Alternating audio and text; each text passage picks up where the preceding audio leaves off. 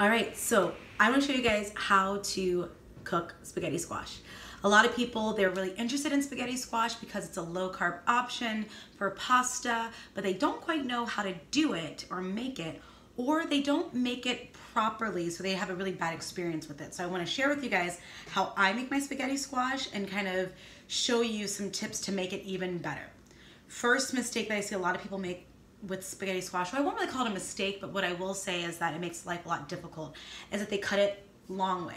So I'm gonna show you the first thing to do to ensure that you um, cut it the right way. The second thing that I see people do is that they don't season it properly. So they'll just use like salt and pepper and call it a day. That's not gonna cut it. Because it's a squash and because it's kind of neutral in its taste and flavor, you wanna make sure that you give it some good flavor so that way it really mends well with however you dress it, whether you're doing a bolognese like I did, or you just use some olive oil and some basil and some sun-dried tomatoes, or whatever, how you ever do it. Doesn't really matter, but make sure that you season it accordingly. The third thing that I see people do incorrectly is that they don't cook it on a high enough temperature. I like to put the oven at 400 degrees and make sure that it gets more like a roasting type of feel to it. The higher temperature allows it to kind of caramelize a little bit and allow some of the flavor to really develop. And so you have a much flavorful um, spaghetti squash, but also has a nice texture to it. So it's not too mushy, has a, still a little bit of bite to it, but it also has this like nice roasted, developed flavor. So these are my tips for spaghetti squash. Give it a shot. Let me know what you think about it and what you've done with it to make it more flavorful and delicious. So I've cut the spaghetti squash into little rings and I just clear out the middle with a spoon or a knife. So that is that. So just simply cut it.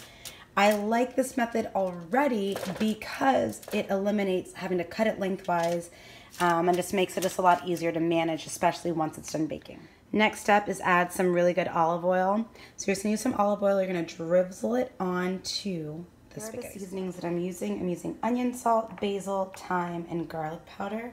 Actually, wait, I think I'm gonna do some oregano too. Bam.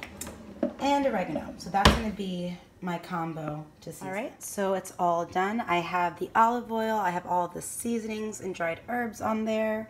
So that's all good. Everything is coated. Both sides are coated. Um, the beauty is once you just drizzle the olive oil and the seasonings on, just flip it over and just rub it around and both sides get, co uh, get covered. So it's at 400. It's gonna go in for about 15 minutes and then I'm gonna flip it and then cook the other side. 15 minutes and I'm gonna show you guys, I'm flipping them over now.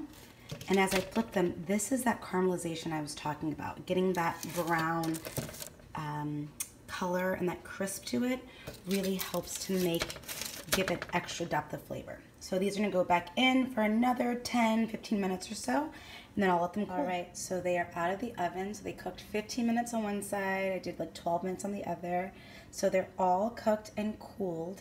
So the last part of the equation is to fork them. And I'm gonna show you how to shred your spaghetti squash. So it's super simple. You just literally just fork it.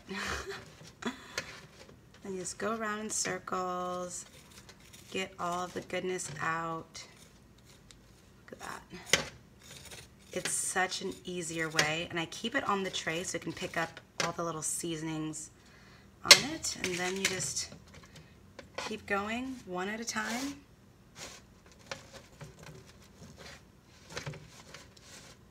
Super simple, guys.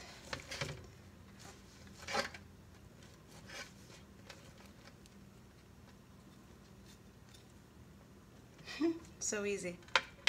All right, here's the finished product. Oven roasted spaghetti squash. It has tons of texture because we didn't use any water and the caramelization of it gives a nice little crunch to it, nice little bite. Then we had garlic powder, onion, salt, thyme, oregano, and dried basil.